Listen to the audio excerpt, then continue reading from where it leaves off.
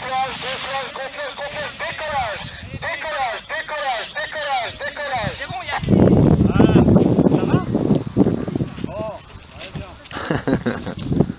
C'est bien les mecs, tu vois. ils- T'as le stress, mais faut parler aux passagers quand même. Faut que tu- Même si tu te forces, tant pis. hein.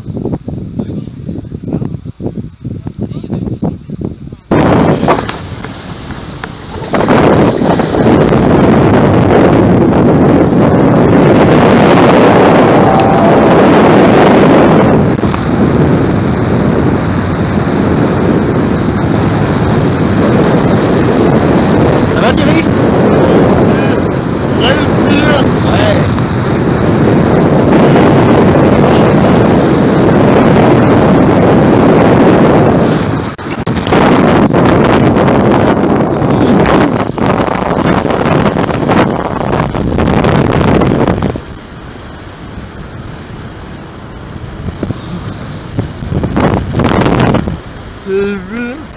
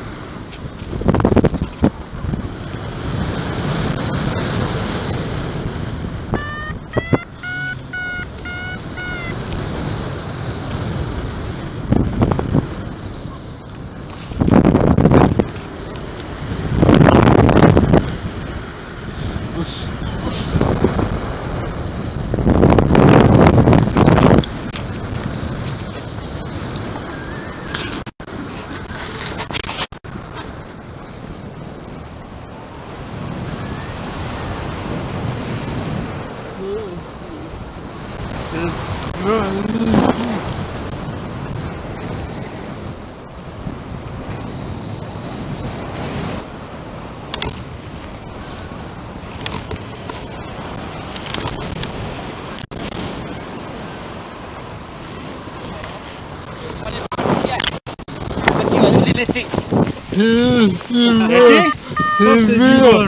Filmez jusqu'en bas. Il veut... magnifique.